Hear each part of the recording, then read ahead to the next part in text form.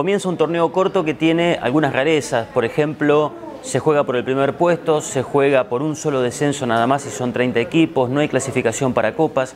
Yo estoy convencido que en el caso de Unión los objetivos se reducen a dos. Por un lado engordar el promedio y por el otro lado apuntar a los dos clásicos que tendrá con, eh, con Colón en esta primera mitad de año.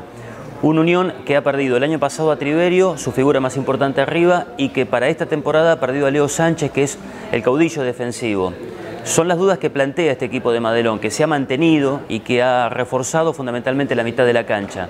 Saber si el equipo va a tener contundencia arriba, que había perdido en cuanto a eficacia en la segunda parte del campeonato, y ver si el equipo puede suplantar la salida de Leo Sánchez que repito, para mí fue un caudillo indispensable, fundamentalmente en el juego aéreo, tanto defensivo como ofensivo. Frente a Defensa y Justicia, 17 horas domingo en Florencio Varela, Unión tiene confirmado el equipo que va a ir con Nereo Fernández en el arco, Brites, el pibe Fleita, García Guerreño y Solbrigen. En la mitad de la cancha irán Villar, Acevedo, Martínez, que finalmente se queda, y Malcorra. Y en la delantera el debut del paraguayo Rodríguez junto con Claudio Reaño.